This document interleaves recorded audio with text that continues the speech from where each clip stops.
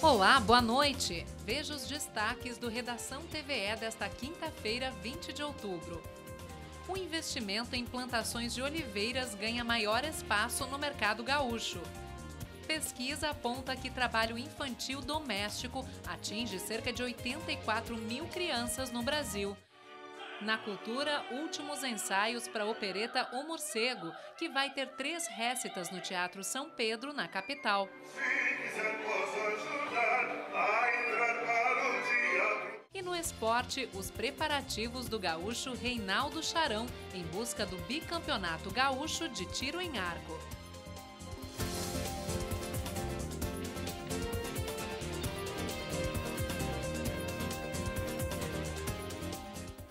Você sabia que já temos azeites de oliva gaúchos premiados? Pois é, e dá até para provar, viu? É que até domingo, o Largo José Cláudio Machado, logo na chegada do catamarã lá em Guaíba, recebe a primeira olifeira, a Feira Nacional da Oliva. O evento vai ter degustação, atrações culturais e debates sobre este mercado que está em crescimento no Rio Grande do Sul. As primeiras oliveiras desta propriedade na Barra do Ribeiro, região metropolitana de Porto Alegre, foram plantadas há 11 anos. Na época, o objetivo era demonstrar a produtividade das mudas a futuros clientes. Hoje, elas se somam a outras milhares em Caçapava do Sul, na campanha, na produção de azeite de uma das marcas gaúchas mais premiadas da atualidade. O azeite, para ser considerado extra virgem, entre a colheita e o processamento são 24 horas. É uma verdadeira operação de logística para vocês tirar esse material daqui.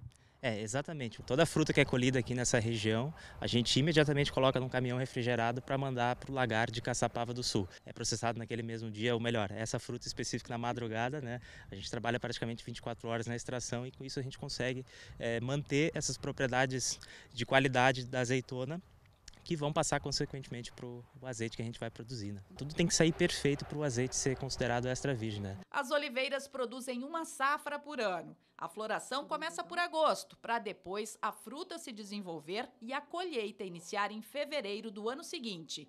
Durante todo esse tempo, o produtor de olivas, como os demais, quer qualidade e fica de olho nos céus. Durante o momento da floração, a gente quer que tenha pouca chuva para ajudar a polinização da flor. Mas agora que praticamente mais de 90% já virou a frutinha, a gente precisa da chuva de novo agora para que ela possa crescer e transformar essa água em azeite até o momento da colheita. Né? Para nossa curiosidade, o Rafael mostra numa mesma planta várias dessas então, é fases. Que nessa árvore aqui a gente vê um estágio já agora bem uh, final, mas que ainda tem uma flor que não abriu. Então isso aqui que parece que é uma azeitona, na verdade é um botãozinho de flor que ainda está fechado. Né? Enquanto na mesma árvore a gente consegue localizar aqui uma flor que já está aberta e aqui no meio já seria o início de uma mini azeitona, né? Uhum. Que foi fecundada e que a partir desse estágio vai começar a crescer agora até o momento da colheita, né? Há 15, 20 anos atrás, mal se ouvia falar do azeite de oliva gaúcho. Hoje o estado é o maior produtor brasileiro. E entre os vários fatores para esse sucesso, um deles tem a ver com o momento. É como estar no lugar certo na hora certa. A olivicultura aqui no Rio Grande do Sul ela começou, digamos, no momento certo, quando já se tinha mais pesquisa sobre as variedades, né? mais pesquisa no campo, o manejo, é, qual que é o melhor solo, a área mais indicada, a melhor variedade e não só daí na parte do campo, né? É, as novas tecnologias que foram surgindo de 30 anos para cá, que é uma coisa recente no mundo do azeite de oliva, também chegaram no momento certo para a gente ter a mais alta tecnologia na parte da extração. Então a gente até fala brincando, né? se tivesse começado, sei lá, 50 ou até 100 anos atrás, como outras culturas aqui no Rio Grande do Sul, a gente já está com um monte de indústria sucateada, né? Então a gente teve a felicidade de estar acontecendo tudo na hora certa. O estado produz cerca de 80% do azeite de oliva nacional e tem conquistado prêmios por todo o mundo, inclusive com produtos aparecendo entre os melhores, junto com marcas tradicionais como as europeias. O aumento da área plantada ainda deve melhorar o preço e ampliar a oferta. Mas agora, o consumidor brasileiro já pode ter acesso a azeites de oliva de qualidade internacional produzidos aqui. como é um produto muito perecível, a gente consegue entregar para o consumidor final um produto que antes não se tinha acesso aqui. Né? A única possibilidade era a pessoa viajar para um país produtor e pegar, digamos, direto na fonte. Né? Aqui a gente tem essa oportunidade agora de ter o azeite de oliva fresco, né? Com as suas propriedades benéficas para a saúde muito mais bem conservadas, entregue muito rápido na mesa dos consumidores. Então, para quem busca não só a qualidade na comida, no sabor, né? a gente consegue ter um produto super benéfico para a saúde que vai fazer bem para todos, né? chegando mais fresco assim na mesa dos consumidores.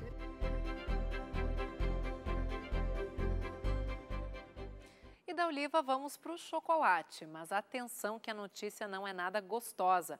A Vigilância Sanitária de Porto Alegre determinou ao comércio o recolhimento imediato dos chocolates em barra de 80 gramas da marca Garoto Lotes 222-12941G de chocolate ao leite com castanha de caju e do lote 225-312941G de chocolate ao leite com castanha de caju e passas, ambos com validade de 10 de setembro de 2023.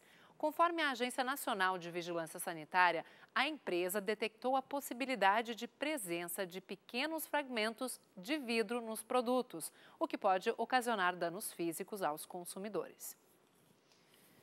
E o assunto agora é trabalho infantil. Cerca de 84 mil crianças e adolescentes fazem trabalho doméstico no Brasil. Os dados são de um levantamento divulgado neste mês das crianças pelo Fórum Nacional de Prevenção e Erradicação do Trabalho Infantil, a partir de dados do IBGE. Quem fala com a gente sobre esse levantamento é a secretária executiva do Fórum, Caterina Volkov. Caterina, qual é, qual é o perfil das crianças e adolescentes que estão nessa situação? Boa noite.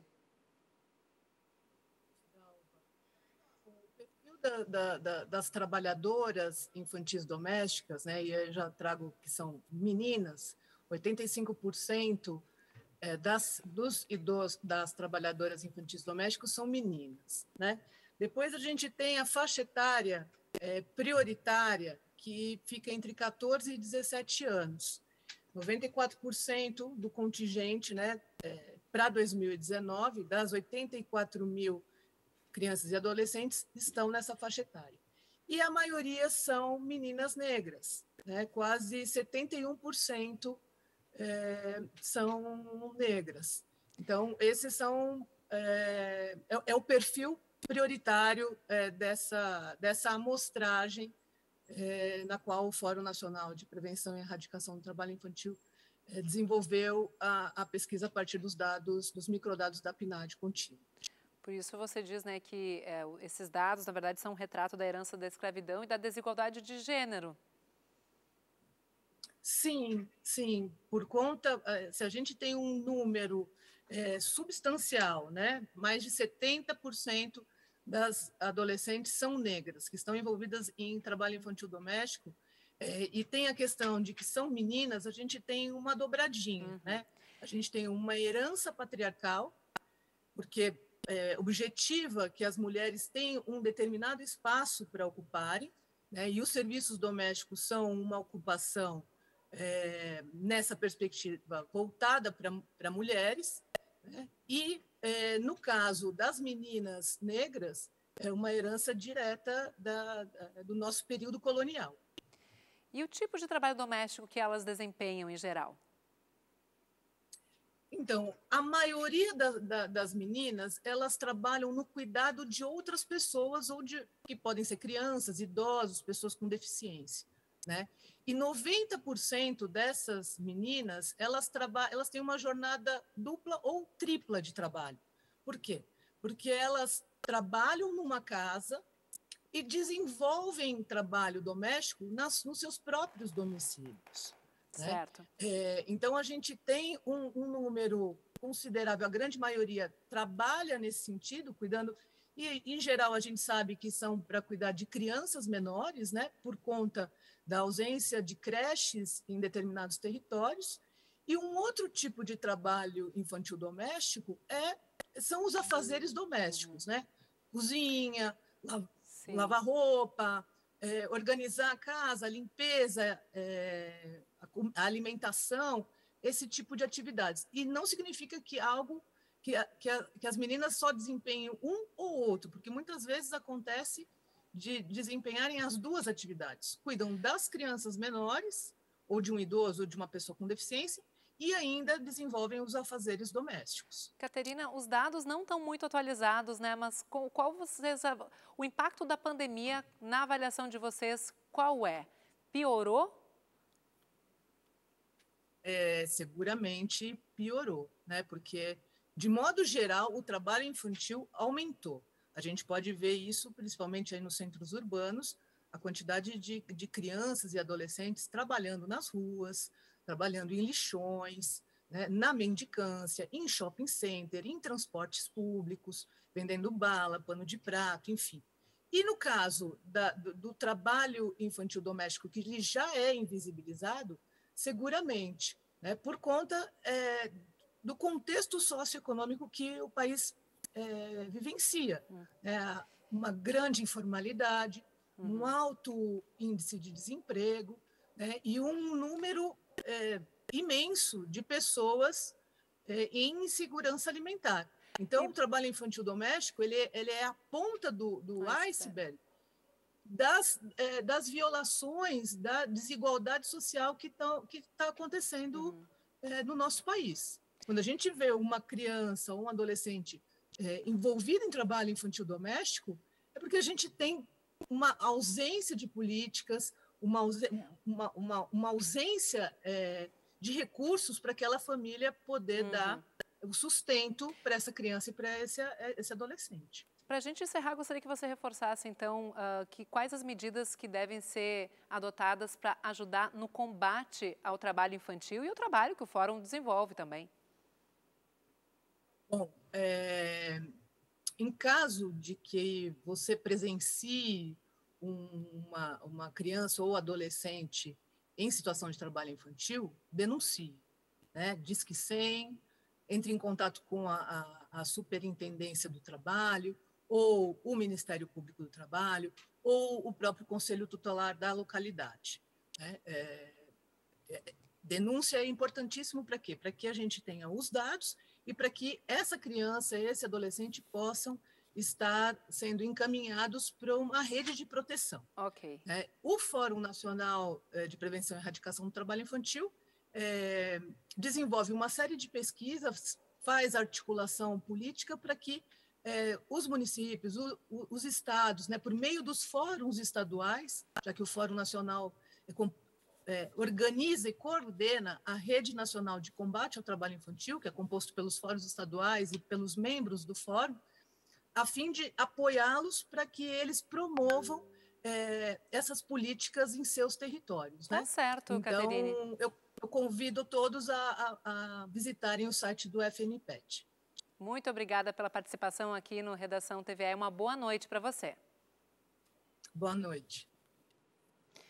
E agora, saúde. A partir da próxima semana, o shopping Lindóia vai deixar de ser um ponto de vacinação contra a Covid e gripe.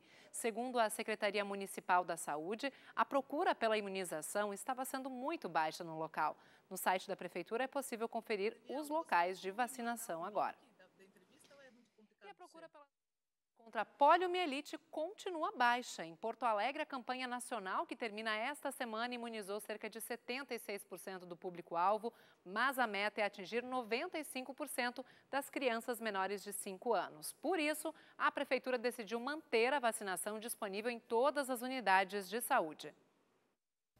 O esquema vacinal contra a poliomielite, mais conhecida como paralisia infantil, prevê três doses para bebês aos 2, 4 e 6 meses, mais duas doses de reforço aos 15 meses e aos 4 anos. Caso haja algum atraso, a criança pode atualizar a carteirinha até completar 5 anos de idade. No Brasil, o vírus não circula desde 1989, mas a baixa adesão às vacinas traz o risco de reintrodução da doença, que é endêmica em países como Paquistão e Afeganistão. Os Estados Unidos também registraram um caso de pólio em julho deste ano, o primeiro em quase uma década. A criança não havia se imunizado.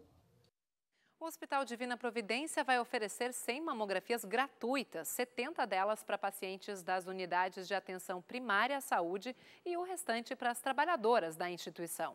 As informações estão no site do hospital. O agendamento será feito a partir de 1 de novembro. A iniciativa é uma das ações do Outubro Rosa, mês dedicado à prevenção e combate ao câncer de mama. Depois do intervalo, tem a previsão do tempo e os últimos preparativos para a opereta O Morcego, que estreia sábado no Teatro São Pedro, aqui na capital. São 6 horas e alguns minutos, vamos conferir em seguida, aqui 35 minutos aqui no alto do Morro Santa Teresa, temperatura em leve declínio, faz 21 graus.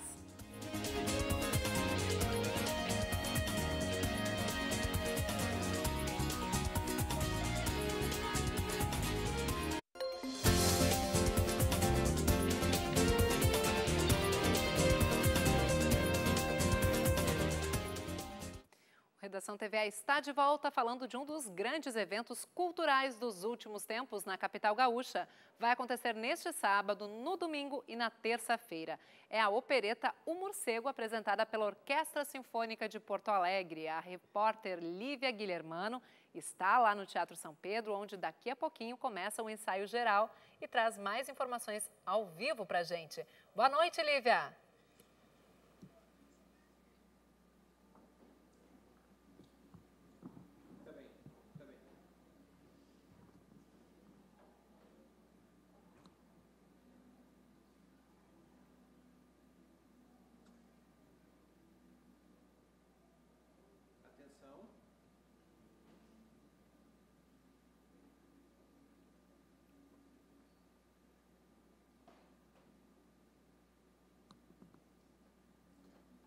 Boa noite, Dalva. Estamos aqui no Teatro São Pedro para falar dessa que é a principal obra do compositor austríaco Johann Strauss II.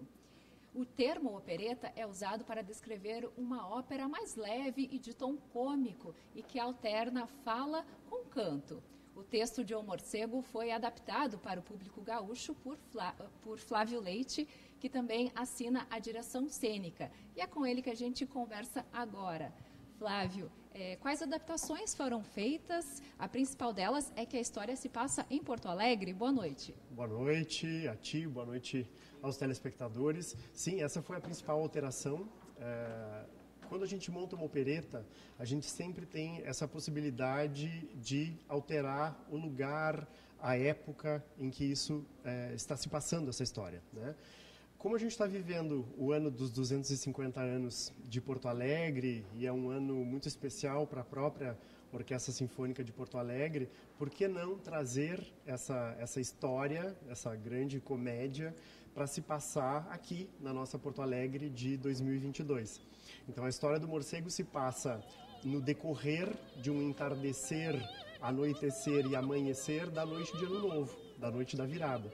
Então a nossa encenação do morcego, ela vai se passar no dia 31, agora de 2022, aqui em Porto Alegre, como último ato da comemoração dos 250 anos da cidade. A linguagem e os temas também foram adaptados. A linguagem e os temas foram adaptados.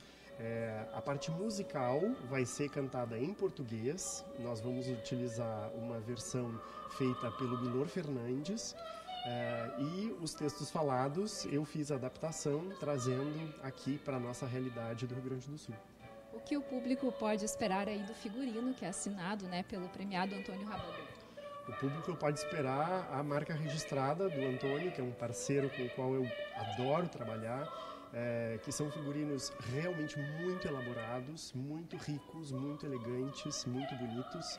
A gente não pode esquecer que a, a, opereta se passa numa noite de festa, e digamos que é um Réveillon bastante especial. Então acho que todo mundo pode esperar ver muito glamour, muita elegância nesses figurinos do Rabadã. É um texto mais irreverente, não é? Como essa irreverência aparece né, é, no cenário, na, no próprio figurino, no texto. É um texto muito irreverente. Uh, tem várias questões sociais abordadas também, né, na opereta. Relações, né, de, de trabalho, uh, infidelidades, troca-troca de casais, né, coisa de de, do enredo de opereta, desses espetáculos leves, mas que continuam fazendo parte da nossa realidade. Né? Uh, essa opereta tem uma outra particularidade que é o seguinte: no terceiro ato, uh, em todos os lugares do mundo se convida um ator, um comediante local, para fazer o papel do carcereiro. E aqui na nossa montagem a gente vai ter esse jovem ator e dramaturgo gaúcho, que é o Henrique Cambraia, fazendo esse personagem da carcereira, que é um personagem literalmente de humor. Ele não canta, uh, mas as pessoas, eu tenho certeza vão rolar de rir. Pois é, a montagem envolve mais de 100 profissionais, não é? E tem algumas participações especiais. Quais são elas? Então, é uma super produção, né? Se nós contarmos que nós temos toda a orquestra embaixo no fosso, nós temos os nove solistas no palco, uh, o coro sinfônico da OSPA, a Companhia Municipal de Dança, e fora todo esse pessoal tem todo toda a equipe de backstage, né? Cenógrafo, uh, assistente de cenografia, iluminador, assistente de iluminação, figurinista, seus assistentes também. Então, é uma super produção que envolve mais de uma centena de pessoas. E além disso, nós teremos três convidados especiais, fazendo, digamos, o show da virada desse Réveillon em Porto Alegre, que serão o Ike Gomes, a Isabela Fogaça e o Renato Borghetti. É, e como é então fazer né, um espetáculo deste tamanho? Quais são os desafios? Os desafios são enormes. Né? Essa é uma, é uma produção realmente muito grande, envolvendo muita gente. Mas eu acho que o segredo para isso é a gente contar com as pessoas certas em cada função. Né? Nós temos a direção geral e musical do maestro Evandro Matê, que já tem grande experiência com ópera aqui na nossa cidade. Eu busco me cercar também uh, da equipe que eu costumo e que eu gosto de trabalhar, com iluminador, com cenógrafo, com figurinista, com as minhas assistentes. É, então, cada um fazendo a sua parte, né, é, a gente tem tudo para ter um super espetáculo como vamos ter nesse final de semana. Ok, muito obrigada, Flávio. Quem está aqui conosco também é o cenógrafo Rodrigo Chalaco. Rodrigo, é, muito obrigada por conversar com a gente. Como foi pensado o cenário para esse espetáculo? Boa noite. Então, trabalhar com o Flávio, com a OSP é sempre um desafio, porque eles são ousados, né? Eles sempre querem fazer o melhor e o mais atualizado, assim, interessante esteticamente, né? E o desafio dessa opereta é que ela se passa em três atos, né? E três atos com cenários diferentes né, estéticas. E o Flávio, ele quis fazer nessa, nessa opereta realmente trocas de cenário. Então, todos os três cenários, diferente das outras montagens, eles são totalmente distintos. As outras montagens, elas acabam fazendo sempre uma troca uh, pequena, assim, alguns uh, detalhes e tal, e aqui não, aqui a gente está trabalhando com troca realmente de cenário em cada ato. Então isso traz uma dificuldade técnica, é, de ensaio, de equipe, de bastante gente. É um elenco numeroso, tem orquestra, então é um trabalho bem desafiador. Ok, muito obrigada então, Rodrigo, muito obrigada também ao Flávio. É, serão então três apresentações no sábado e na terça, às oito da noite, e no domingo, às seis. Os ingressos podem ser adquiridos na plataforma Simpla mas atenção, pois estão quase esgotados, tem que correr. É com você, Dalva. Obrigada, Lívia, trazendo ao vivo as informações, então, da Operata O Morcego. E as reformas do Museu de Arte do Rio Grande do Sul devem ser concluídas em dezembro. Nesta quinta-feira, a secretária de Cultura visitou o Margs e outras instituições do Estado que passam por melhorias para acompanhar o andamento das obras. Ao todo, os investimentos somam cerca de 50 milhões de reais. A primeira visita foi no Museu Júlio de Castilhos, o mais antigo do Rio Grande do Sul onde acontece a recuperação do acervo e do prédio, além da colocação do novo piso e a revitalização da pintura interna. Depois, a secretária foi à Biblioteca Pública do Estado, que já está com a fachada completamente restaurada. Também houve a restauração de 130 móveis da biblioteca. A parada pelo local marcou um grande feito: a assinatura do documento que autoriza a recuperação de 47 lustres até o final de 2022. O investimento será de 442 mil reais. O último local a receber a visita foi o Museu de Arte do Rio Grande do Sul. Este é o principal museu de arte do estado, com um acervo de mais de 5 mil obras. No Margs, o piso foi recuperado e a pintura das fachadas está quase finalizada. Após a visita, a secretária de Cultura falou sobre a importância das instituições. Nós temos que fazer com que essas instituições atendam às suas missões de forma eficiente. Né? Isso só se dá se os prédios estiverem ok, se não tiver infiltração, se uh, os acervos estiverem preservados, se as reservas técnicas dos nossos museus uh, estiverem atendendo às demandas daqueles acervos particulares de cada uma dessas instituições. As instituições estavam numa situação bastante precária por falta de manutenção, por falta de investimentos. De acordo com a secretária, algumas obras devem ser concluídas somente no ano que vem, como é o caso do Museu Júlio de Castilhos. E a semana vai terminar com instabilidade em todo o estado. Veja a previsão do tempo.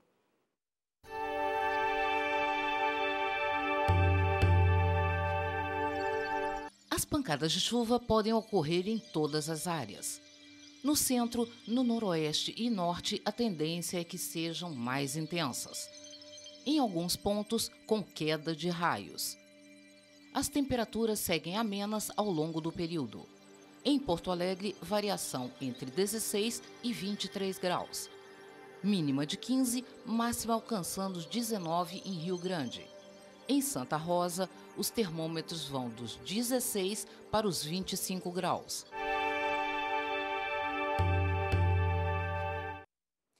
Agora vamos com as notícias do esporte. A Copa FGF, a Copinha, entrou na fase de quartas de final. No jogo de ontem, o time de transição tricolor venceu o Guarani em Venâncio Aires. Este ano, a competição leva o nome do ex-jogador gremista Tarcísio Flecha Negra. Depois de um início equilibrado no estádio Edmundo Faix, a jovem equipe gremista abriu o marcador aos 23 minutos. Vini Paulista aproveitou uma falha defensiva do time da casa e disparou com precisão para o fundo da rede. O segundo tempo foi menos intenso e tudo ficou decidido aos 37 minutos, quando, após um lançamento longo do goleiro Felipe Scheibig, o meia Ronald fez um bonito gol por cobertura. Além do título, a Copinha também oferece uma vaga na Copa do Brasil do ano que vem.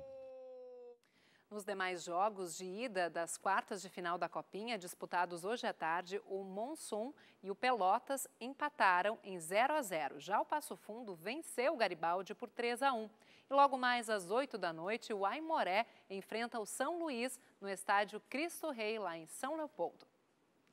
Redação TVE fica por aqui. Na sequência, você acompanha as notícias nacionais do Repórter Brasil.